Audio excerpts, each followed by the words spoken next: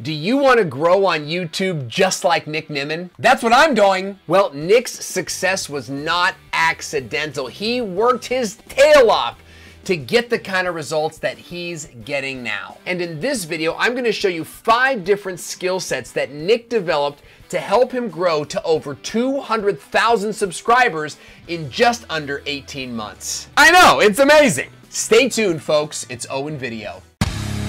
Owen Video! Hey everybody, welcome back to the channel. I'm Owen Video teaching you the ins and outs of video marketing. You can subscribe to the channel if you want. We'd love to have you. Just be sure to click on the bell notification so that you don't miss a thing. Nick Nimmin is the best thing to happen to YouTube since the play button. I've been blessed to know the guy since he had like 400 subscribers.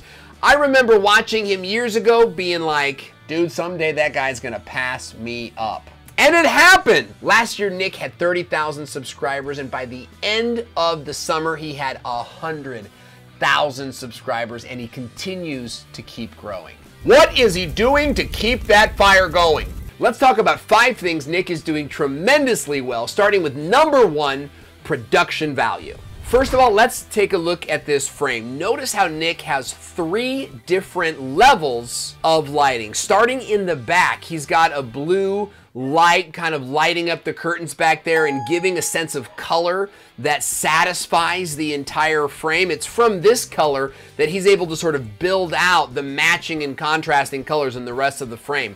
Then we move up a layer and we get the light coming from his computer screen where we're very clearly able to see that Nimmin sign. And that is something that we've all come to recognize as characteristic of Nick's videos. Finally, that third layer of lighting ends up with this crystal clarity on his face. The lighting on his face enables him to really pop out of the darkness of the frame, but also notice how he, there is no glare on his glasses. I mean, that's that's not easy to do. You can tell Nick didn't just schlep up his camera and lighting. He took some time to dial this in, and it's important that you do the same in your videos. Also notice how Nick starts his video with movement. This is a huge tactic, especially because his branding is get started now. And as soon as you press play on the video, Nick is stepping into the scene and beginning a sense of motion, making the viewer feel like we're moving. Let's take a look. What is going on? My name is Nick. Welcome to another video. I'm gonna show you a handful of things that you might be doing wrong on your YouTube channel, and we're starting right now. Now, another key point of Nick's huge production value is he uses only minimal B-roll. In fact, in one of Nick's more recent videos that's doing fantastically well, we were only able to notice three different sections of B-roll. So you don't need a ton of footage to make your production value increase. You need to have great content and great delivery. Now, in case you're wondering, Nick is actually using a Canon 80D with a Rode microphone. And we put a link to that equipment in the description box below in case you want to check that out. With that out of the way, let's talk about point number two, consistency. And to do that, we're gonna dig into Nick's video page on YouTube. So as we go onto Nick's video page on YouTube, we can immediately see that he's uploading a total of one, two, three, four videos in the past week. Let's keep going and look the week past that. We see one, two, three videos uploaded the week before that. One, two, three videos uploaded the week before that, and those numbers just continue on. With an average upload schedule of three videos a week, Nick is constantly triggering the algorithm to bring viewers back to his page. This is very similar to how Hulu or Netflix may release a new show. I know that when MasterChef comes out with a new episode, Hulu puts that video right in front of me because I watch every episode of MasterChef. And just as I stop watching MasterChef when the season is over, if Nick were to stop uploading videos, YouTube would stop sending people to his channel. Therefore, Keep uploading videos as regularly as possible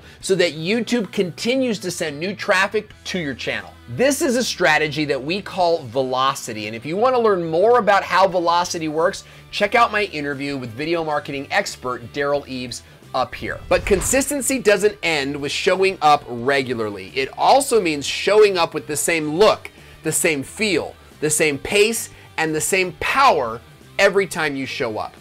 Not only does Nick upload consistently, but he consistently looks great. Where his first two vids of the week are shot in his office studio, third video is a live stream that he produces with his brother D. D Nimmin, by the way, has his own channel called Master Your Mobile, and he ranks an 8 on the Clooney scale. But even in his live stream, the colors, the lighting, all of that has the same Nimmin feel. So remember, a good channel shows up the same way each time it shows up. That brings us to point number three, which is niched content. Now, when it comes to anybody familiar with Nick Nimmin's channel, there's no doubt what his channel is all about. Let's take a look. I'm gonna share with you five apps every YouTuber should have. I'm gonna give you a list of the best tools to help you grow here on YouTube as a content creator. I'm gonna tell you three things that you might be doing that make people not want to subscribe to your YouTube channel. In just about every single video, Nick is talking about YouTube or YouTube related content. And more specifically, he's speaking to video creators, not so much to business owners and entrepreneurs. This type of niched content is so extremely important when building a channel on YouTube. See, when I first started making videos on YouTube, I was uploading videos on any topic I felt like. Now, all of these topics were in the marketing family, but I was talking about SEO, web design, chatbots, and yes, YouTube and video marketing.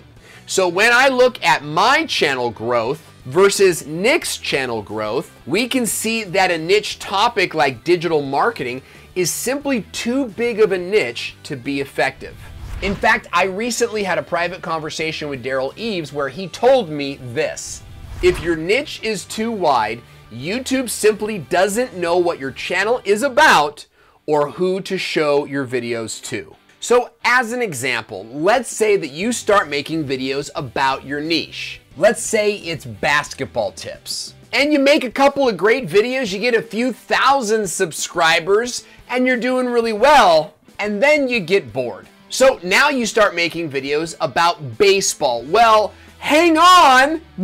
Now all of your basketball subscribers are going, I don't want to watch this. So they don't click on your new uploads, which means YouTube doesn't push your videos out into the news feed and your channel starts to die a slow death. Et tu brute? That strategy kills your velocity and makes it harder for your channel to get momentum. Now, again, if you want to learn more about what velocity is, you've got to check out this interview with Derral Eves. Take a cue from Nick Nimmin and select a niche where you can build a whole library. And if you want to start making videos outside of that niche, put them on a different channel. Hey, what's your channel's niche about? I'd love to know. Drop a line in the comments below. Now, this brings us to point number four. My good friend Brian G. Johnson wrote a book, and in chapter four, he titles it Win the Click. Win the click means that before someone can even watch your video, they have to click on your video, which means they have to pick your video from a long list of competing videos in the related video section or in the YouTube search results page. The only way to win that click is with high impact thumbnails. Let's take a look at Nick's thumbnails and see what we can learn. When we go to Nick's homepage, we immediately see that all of his thumbnails have a branded, similar look to them. This is super important for creating visual authority online. You'll notice that most high performing YouTube channels have a very similar look and feel across all of their thumbnails. This goes back to my point about consistency. Let's take a look at a Nimmin thumbnail and see what else we can discover about creating a great thumbnail. Number one, a human face. Nick shows his face in every single thumbnail. Be sure to highlight the eyes to make a personal connection with your viewer. Number two, the thumbnail reads left to right. Notice how Nick puts his text on the left-hand side of the thumbnail, which is where the eyes of an English speaker will first look at a thumbnail. This follows the natural pattern of all English countries. Plus, when viewed in a playlist, the YouTube overlays won't block the title. Number three, contrast. Notice the contrast between the colors in the text and the color boxes behind them. Not only are they nice and big to stand out in the YouTube related video section, but the color boxes help the words to pop out, which lets the viewer know what the video is about. Also take a look at the contrast between the background of the thumbnail, which is dark, and the well-lit Nimmin face on the right-hand side. Remember that a thumbnail isn't viewed in high definition. It's largely viewed on mobile, which is about 500 pixels, or on a desktop where it's only about 200 pixels. So strong contrast will help your thumbnails stand out. And finally, that brings us to tip number five, live video. Earlier, we talked about how Nick Nimmin has a strategy of uploading two regular videos per week and one live video per week. Well, there's a ton of advantages to doing that. Let's take a look. Nick Nimmin goes live every Saturday morning, and there's a ton of advantages in going live. First off, you're able to create a ton of engagement with your live viewers in the comment area. And with YouTube's new comment replay, replay viewers are able to share in that same excitement when watching a live video replay. That excitement leads to more comments, more likes, and more shares, which again puts that video out into the newsfeed. It's also well known that doing live videos helps your video to rank. So when you're shooting a live video, it's quite natural that that video will rank higher in the search engine faster than a pre-recorded video, which is going to give your video more exposure. Live videos also dramatically increase your watch time. Nick goes live for almost four hours every Saturday. When you multiply that out by the hundred or so live viewers that he gets every week, we're talking about thousands of minutes of watch time accumulating on his channel in a single day. And in case you weren't aware, watch time is the single most important factor for growing a successful channel on YouTube. There you have it, folks. Five reasons why Nick Nimmin has grown a very successful channel. Congrats, Nick. Air 5. If you want to grow like Nick Nimmin, I suggest you watch this video over and over and over again until you get all those points memorized. You could also check out my YouTube crash course, which is available on my website for only $17.